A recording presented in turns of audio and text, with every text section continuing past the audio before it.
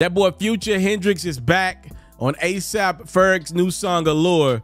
And Future has a message to the people that flipped on his brother Young Thug.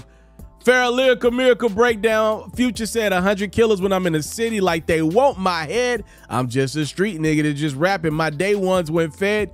You took a plea on my slime. Won't be surprised if you end up dead. And later in the verse, Future says, done took a plea out on your Cody, got you killed like that.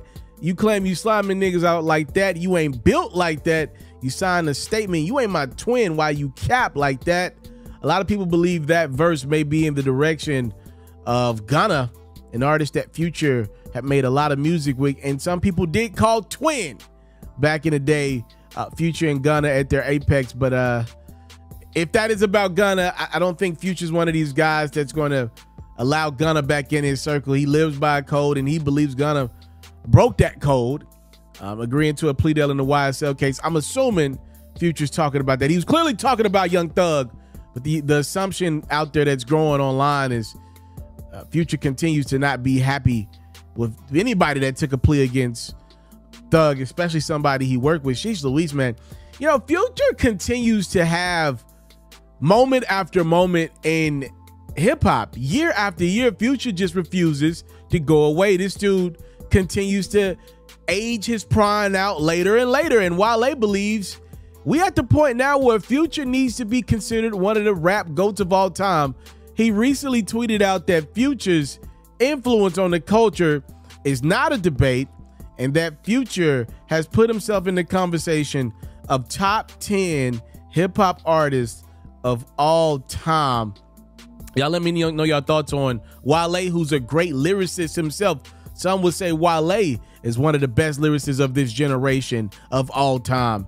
And for him to give the nod to Future tells you how highly Wale thinks of Future. Do you believe with Future's influence, with the way he's held down, a lot of the women love Future. The streets have always loved Future.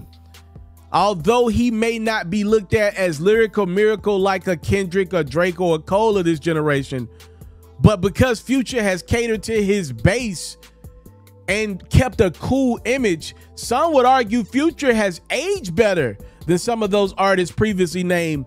Wale clearly believes that Future's one of those dudes for this generation. Let me know your thoughts.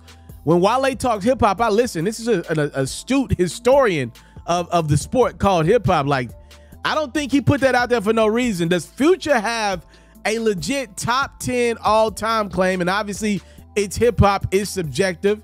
There are going to be people out there that say, hell no, that'll never leave uh, an LL Cool J, a Jay Z, a Nas out of their prime. There are some people that would never leave a Lil Wayne, a Drake out of their prime. There are going to be people who say, yo, my prime has future in it. My top 10's got to have future in it. I want to know your thoughts, though. This is your palette, what you like in music. Future's got a new verse. He's hot again. New project out in the atmosphere. It went number one again.